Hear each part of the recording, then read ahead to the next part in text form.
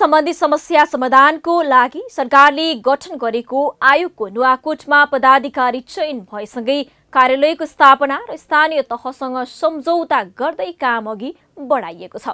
संविधानको मौलिक हकमा उल्लेख गरिएको आवास रोजगारी र खाद्य सम्प्रभुताको प्रत्याभूत गराउनको लागि स्थापना भएको भूमि सम्बन्धी समस्या समाधान आयोगले मुख्यत स्थानीयहरूलाई नै जिम्मेवारी बनाई काम अघि बढाउन सम्झौता गरे पनि समस्या समाधान हुनेमा भने स्थानीयको आशंका छ। नुवाकोटबाट पालिका खबरदाता रामहरि नेौपानीको एक रिपोर्ट।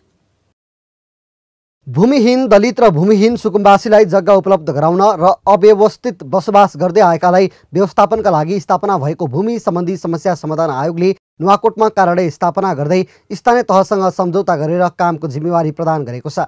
आयोगको जिल्ला स्थित समितिलाई समन्वय समितिको रूपमा मात्र राखेकाले भूमि सम्बन्धीको विद्यमान समस्या समाधानको लागि कामको मुख्य जिम्मेवारी सबै स्थानीय तहको हुने सम्झौतामा भनिएको छ। यसको व्यवस्थापनको लागि कर्मचारी व्यवस्थापन लगायतका महत्त्वपूर्ण कामहरू दक्ष र प्राविधिक चाहिँ आयोगले उपलब्ध गराउने भनेको छ। अन्य चाहिँ स्थानीय तहले आफ्नै साधन र स्रोत व्यवस्थापन गरेर यो कामलाई चाहिँ अगाडि बढाउने समझदारी पत्रमा उल्लेख भएको छ।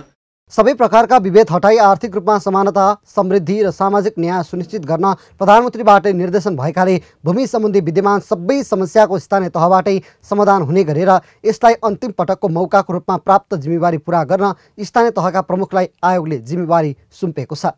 प्रधानमन्त्रीले अस्ति निर्देशन दिँदाखेरि पनि भन्नुभएको छ यो अन्तिम आयोग हो। यो आयोगले अब पनि भूमिसित सम्बन्धित समस्याहरू नेपालमा छन् भन्ने कुराहरू काहीँ पनि नरहने गरी काम गरोस्। यसको लागि म जे पनि गर्न तयार छु भनेर अध्यक्ष के अरे प्रधानमन्त्रीज्यूले पनि भन्नुभएको हुनाले अध्यक्षज्यूहरूले यसलाई लागेर गर्नुहुनेछ।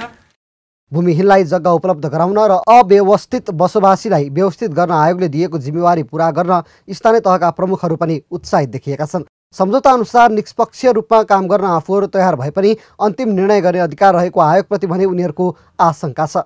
हामीले जिम्मेवारी पनि त बनाएर पठाएको देखियो तर निर्णय गर्ने अधिकार त आयोगको हो। हामीले पठाएपछि आयोगले डिसिजन गर्ने तर आयोगले भोलि के गर्छ? हामीले चाहिँ एकदम निष्पक्ष ढङ्गले जो वास्तविक हो जो चाहिँ यथार्थ हो त्यसलाई मात्रै हामी सिफारिस गर्छौँ। यसमा पनि पूर्ण विश्वास चाहिँ छैन। यो आयोगले काम गर्ला के गर्ला भन्नेमा चाहिँ त्यो छैन। तर पनि जनताको भूमि सम्बन्धी समस्या चाहिँ भएको सकेसम्म यो समाधान गर्ने क्रममा चाहिँ हामी लागि परिरहनुपर्छ।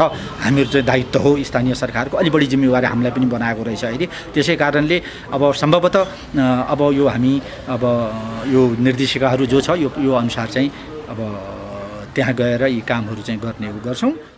आयोगसँग गरेको सम्झौता अनुसार अब स्थानीय तहले पालिका स्तरमा भूमिहीन दलित भूमिहीन सुकुम्बासी र अव्यवस्थित बसोबासीको लगत सङ्कलन इकाइ गठन गरेर काम अघि बढाउनु पर्ने भनिएको छ। यही समितिले निवेदन सङ्कलन गर्ने त्यसमाथि कारवाही अघि बढाउने र कार्यपालिकाको बैठकले सिफारिस गरेर पठाएपछि आयोगको जिल्ला स्थित कार्यालय हुँदै केन्द्रको निर्णय निवेदकले पर्खनु पर्ने देखिएको छ। जतिसुकै अधिकार स्थानीय तहलाई दिए पनि केन्द्रीय आयोगको निर्णय अन्तिम हुने भएकाले स्थानीय तहहरू समस्या समाधानको लागि आयोगको भूमिकाप्रति सशङ्कित देखिएका हुन्। तिन वर्ष कार्यकालको बाँकी छब्बिस महिनामा समस्या समाधानको लागि काम गर्ने हो। यो यस आयोगप्रतिको अविश्वास हटाउन जतिसक्दो चाँडो नतिजामुखी काम गर्नतर्फ लाग्नु पर्ने देखिन्छ।